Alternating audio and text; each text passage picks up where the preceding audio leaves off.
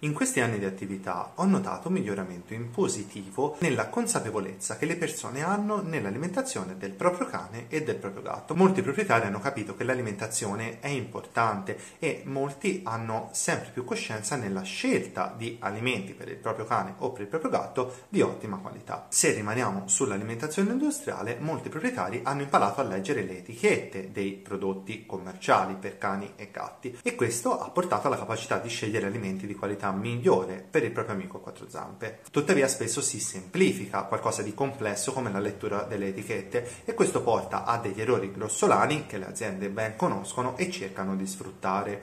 Uno di questi errori è la lettura della proteina grezza. Tutti sappiamo che è importante avere una buona percentuale proteica all'interno di un alimento per il cane o per il gatto. Il cane e il gatto sono in grado di utilizzare le proteine molto bene anche a scopo energetico, per cui possono sopravvivere avendo come nutrienti solamente le proteine e i grassi e anche senza i carboidrati. Il valore che permette di valutare la percentuale proteica all'interno degli alimenti per cani e gatti è la proteina grezza. Proteina grezza che però non si può valutare da sola, mentre per molti proprietari l'assioma è diventato più proteina grezza uguale alimento di qualità migliore. Non è proprio così ed è quello che andremo ad approfondire oggi. Buongiorno a tutti, io sono il dottor Valerio Guigi, medico veterinario specialista in ispezione degli alimenti e nella mia attività mi occupo di alimentazione e nutrizione del cane e del gatto. Partiamo dal principio cos'è la proteina grezza e soprattutto perché sugli alimenti per animali c'è scritto proteina grezza mentre sugli alimenti per umani c'è scritto semplicemente proteine. Il grezzo o greggio non è un'indicazione di colore, ma fa riferimento alla metodica specifica con cui vengono valutate le proteine all'interno degli alimenti per animali. La metodica per analizzare gli alimenti, quindi per capire quante proteine ci sono all'interno, si chiama metodo Kildall ed è stabilito per legge dal regolamento europeo 152 del 2009 alla lettera C dell'allegato 3. Non vado nel tecnicismo dell'analisi, ma fondamentalmente quello che ci interessa è capire che questo metodo non valuta la percentuale di proteine all'interno dell'alimento, ma valuta la percentuale di azoto presente all'interno dell'alimento, che poi viene moltiplicato per un valore che è 6,25 fisso per avere la percentuale di proteina grezza. Tuttavia, questo non è un calcolo effettivo, è un calcolo matematico della percentuale di proteine che è presente all'interno dell'alimento e parte da due assunti che sono sicuramente sbagliati. Il primo è che tutto l'azoto presente all'interno dell'alimento sia di origine proteica, ma non è proprio così. Ci sono delle molecole in cui è presente dell'azoto, ma che non sono amminoacidi, quindi che non fanno parte delle proteine. La metodica va a contare anche quell'azoto che viene definito semplicemente azoto non proteico. Il secondo assunto è che le proteine contengono sempre il 16% di azoto, che è il valore medio per le diverse proteine, ma siccome gli amminoacidi hanno una struttura diversa, ci sono alcuni amminoacidi che ne contengono di più e alcuni amminoacidi acidi che ne contengono meno. L'azoto, in rapporto con il carbonio, l'ossigeno e l'idrogeno e altri atomi eventualmente presenti all'interno dell'aminoacido, può variare in proporzione e quindi questo conto del 16% potrebbe alla fine non tornare. Perché si prendono per buoni questi due assunti anche se sappiamo che sono sbagliati? Tendenzialmente per rendere più semplici e meno costose le analisi. L'analisi va a restituire un valore grezzo, appunto non preciso ma quantomeno indicativo, della quantità di proteine che è presente all'interno dell'alimento. Se poi andiamo a valutare il valore reale delle proteine e il valore grezzo delle proteine, troviamo che le differenze non sono poi in realtà tantissime, cioè ci sono ma non sono esagerate e questo è il motivo per cui si continua ad utilizzare il metodo Hilda nell'analisi delle proteine e non si fa invece un'analisi più precisa come quella che avviene nei prodotti per esseri umani. Questo ci consente intanto di capire che la percentuale proteica non è un valore fisso, ma è un valore un po' variabile. A tutti gli effetti ci può essere un valore effettivo di proteina maggiore o minore rispetto a quello che è indicato in etichetta e questo varia sia per questi questi due assunti sbagliati, sia perché esistono anche delle tolleranze. Il numero non può essere preciso e quindi c'è una tolleranza verso l'alto o verso il basso delle proteine che ci possono effettivamente essere ma che non corrispondono al valore reale indicato all'interno dell'etichetta. Sarebbe impossibile raggiungere sempre lo stesso valore perché le materie prime in generale variano ma ci sono due grossi problemi quando si legge solamente il valore della proteina grezza. Il primo è che la proteina grezza viene calcolata sul valore dell'alimento compresa l'acqua, però l'acqua non è di fatto un nutriente, cioè non è in grado di fornire dell'energia al cane e al gatto. Se un cane e un gatto viene lasciato solamente con la possibilità di bere, ma senza la possibilità di mangiare nulla, morirà di fame. Questo significa che il conteggio della proteina va fatto sempre prendendo in considerazione il fatto che all'interno degli alimenti c'è dell'acqua e quest'acqua va tolta dal conteggio generale in modo da capire quanto effettivamente la quantità di alimento su sostanza secca, cioè l'alimento al netto dell'acqua, contenga proteine e contenga invece altri nutrienti. Faremo un esempio tra poco. L'altro problema è che la proteina grezza non ci dice assolutamente nulla sulla qualità delle proteine, nel senso che potrei avere delle proteine completamente scadenti all'interno di un alimento e questo potrebbe provocare problemi nell'alimentazione del cane e del gatto. Anche questo lo approfondiremo perché adesso andremo ad approfondire questi due specifici aspetti, la quantità e la qualità delle proteine effettive che ci sono all'interno dello specifico alimento. Iniziamo dalla quantità delle proteine presenti effettivamente all'interno di un alimento. Abbiamo visto come le proteine presenti siano direttamente dipendenti dalla quantità di acqua presente all'interno di quell'alimento. Ora non voglio tornare sulla questione troppe proteine fanno male al cane e al gatto, è qualcosa di ampiamente smentito dalla letteratura scientifica di cui ho già parlato tra l'altro in un precedente video nel quale ho mostrato le fonti scientifiche, quindi penso che siano rimasti pochi dubbi su questo specifico argomento. Tuttavia sapere sapere quante proteine ci sono effettivamente all'interno di un alimento è molto importante per capire cosa stiamo dando da mangiare al cane e al gatto.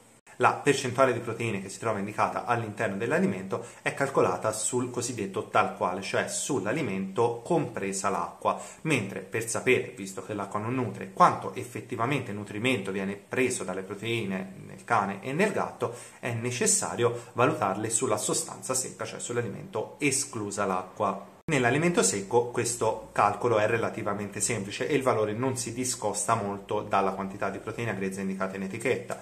Questo perché nell'alimento secco di acqua ce n'è poca, all'incirca ne abbiamo il 9%, di conseguenza togliendo l'acqua la proteina effettivamente presente, mettiamo caso inizialmente sia il 30%, arriverà ad essere all'incirca il 33%, non molto di più rispetto a quello che è indicato in etichetta. Il fatto che la quantità di acqua all'interno dei diversi prodotti secchi sia praticamente uno standard consente molto bene di valutare e confrontare tra loro diversi prodotti secchi, quindi un prodotto con il 40% di proteina proteina grezza e un prodotto con il 20% di proteina grezza hanno effettivamente delle differenze, c'è poco da fare.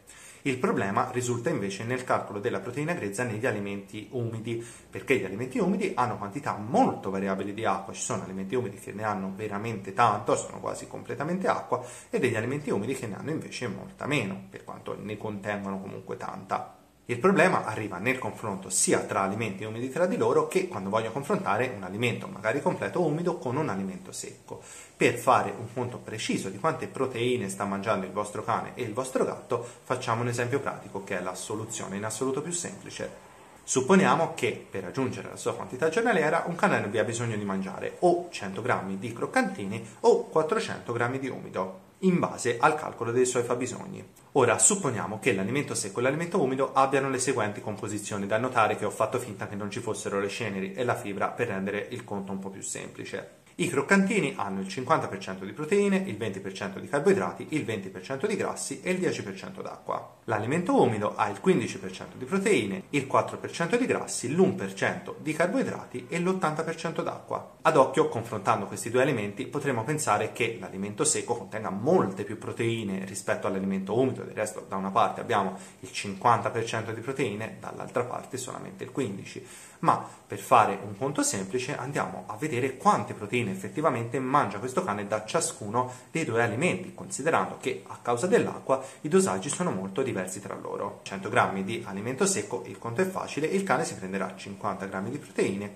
mangiando invece 400 g di alimento umido, il cane si prenderà 60 g di proteine, 16 di grassi e 4 di carboidrati. Facendo questo semplice conto, cioè moltiplicando fondamentalmente i valori che si trovano in etichetta con quello che effettivamente mangia il cane e il gatto, è possibile capire precisamente quante proteine mangia e quindi qual è l'alimento migliore dal punto di vista della quantità di proteine. Da notare, questo non è il conto che si fa in nutrizione, si fanno conti diversi, ma per avere un'idea di quello che sta mangiando il vostro cane e il vostro gatto è un conteggio molto semplice che potete fare banalmente con la calcolatrice. È per questo che ho scelto di utilizzare questo calcolo e non quello più complesso. Una cosa che mi è capitata più volte, quindi la dico volentieri, eh, sugli animali in cui c'è bisogno di restrizione proteica, cioè a causa di patologie non si può stare alti con le proteine, è che i proprietari pensassero, vedendo questa differenza, una differenza come quella che abbiamo appena visto, che l'alimento umido contenesse meno proteine rispetto all'alimento secco e questo, come abbiamo visto, è sbagliato quando si paragona un secco con un umido.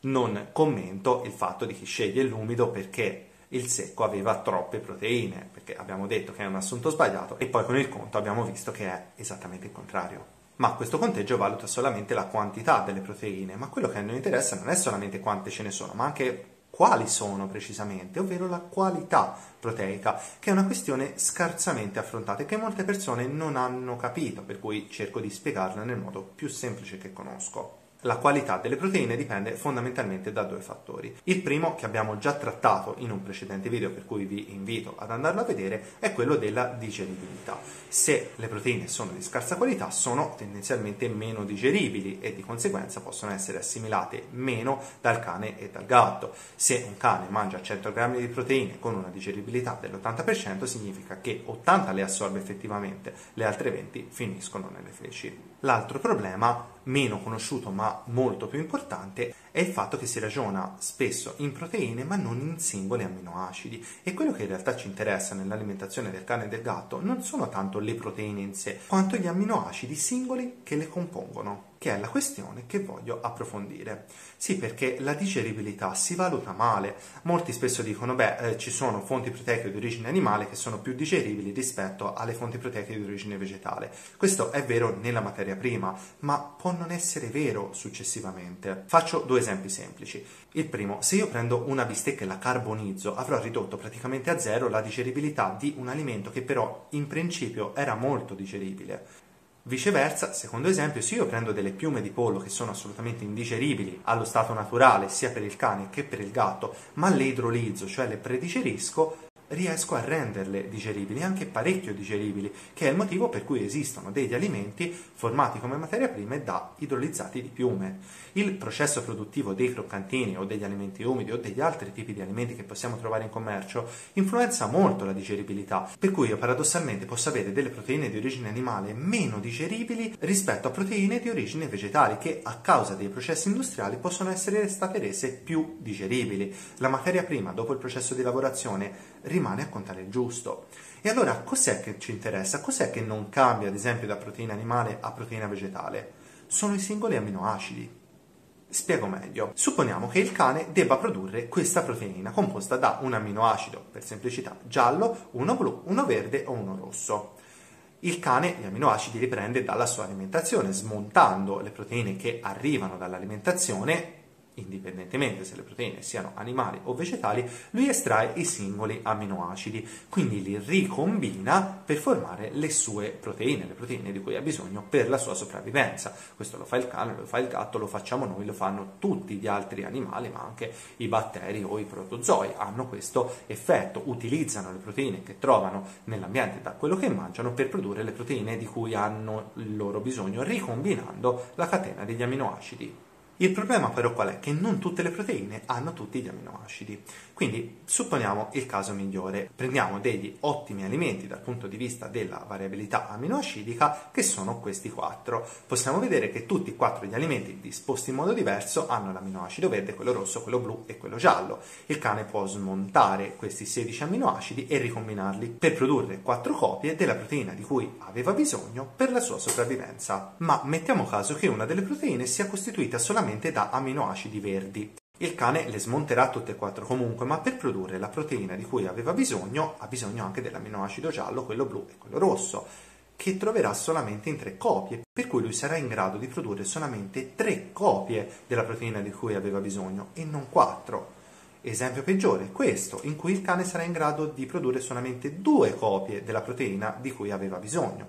E l'esempio ancora peggiore, peggiore in assoluto, è quello in cui il cane non sarà in grado di produrre nemmeno una copia della proteina di cui aveva bisogno. perché in questa situazione mancano completamente gli amminoacidi gialli essenziali per produrre quella specifica proteina. Da notare che in tutto questo gli amminoacidi di partenza e quindi l'azoto e quindi la proteina grezza in questi alimenti è rimasta la stessa. 16 amminoacidi c'erano e 16 amminoacidi rimangono, ma a seconda di quali sono questi amminoacidi, il cane è in grado di produrre 4 copie della proteina di cui aveva bisogno o nessuna copia. È il concetto che in nutrizione si indica come amminoacido limitante, cioè se un amminoacido è limitato all'interno dell'alimentazione in relazione a quelli di cui il cane o il gatto ha bisogno per produrre le proprie proteine, non riuscirà di fatto a produrle. Quindi, indipendentemente dalla quantità della proteina grezza, il cane potrebbe andare in carenza proteica. Paradossalmente anche con un alimento che di proteine ne contiene tante, ma se sono distribuite male in questo modo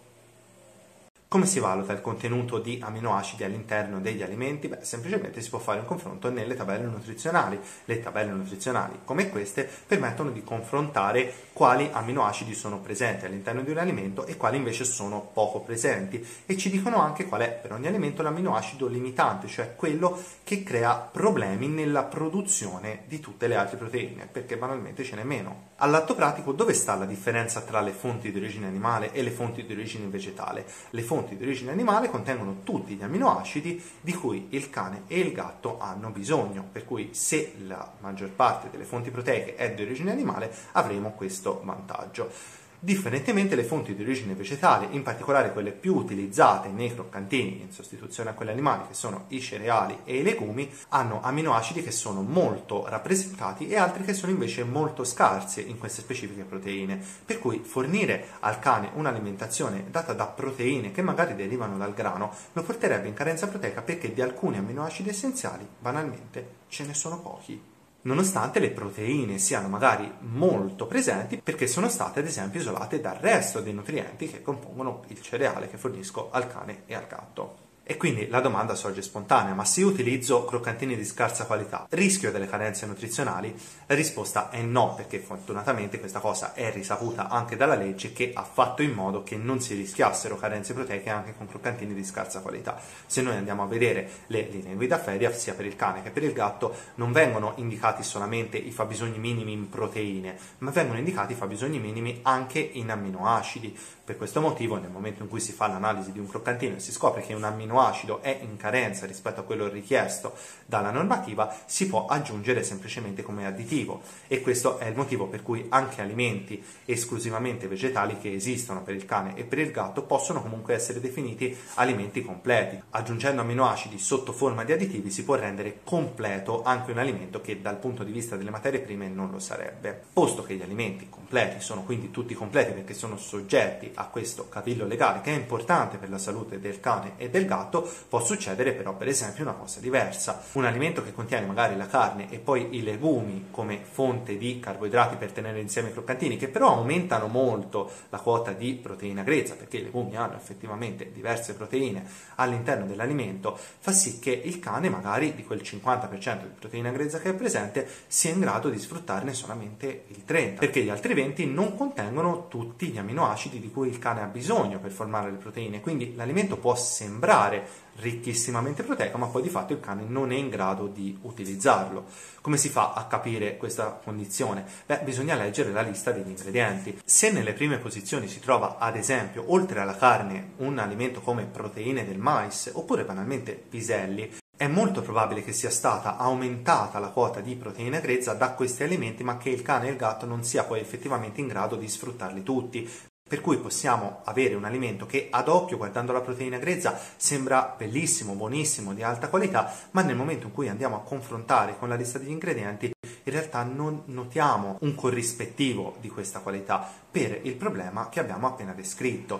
Questo significa che quando andate a controllare la percentuale di proteina grezza all'interno di un alimento, dovete sempre farlo insieme alla lista degli ingredienti, perché la lista degli ingredienti è l'unica cosa che ci può dare un'idea da dove è stata presa quella proteina grezza, quali sono gli alimenti e di conseguenza sia la qualità dell'alimento in generale che la qualità delle singole proteine che compongono quell'alimento. Una valutazione molto importante da fare. E termino questo video con un piccolo gioco. Vi metto a confronto due alimenti che ho trovato che hanno la stessa percentuale di proteina grezza 31%, andate a vedere la lista degli ingredienti e cercate di capire qual è l'alimento migliore e peggiore da questo punto di vista. Può essere un esercizio utile anche per scegliere un alimento per il vostro cane o per il vostro gatto. La risposta non ve la dico, scrivetela direttamente nei commenti.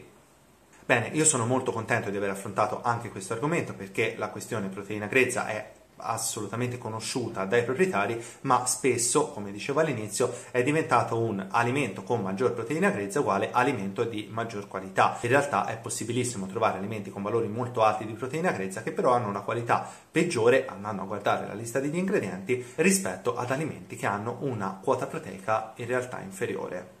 Voi che cosa ne pensate? Avevate mai preso in considerazione questi aspetti nel calcolo delle proteine grezze? Conoscevate queste informazioni e sceglievate gli alimenti per il vostro cane o per il vostro gatto sulla base di queste informazioni?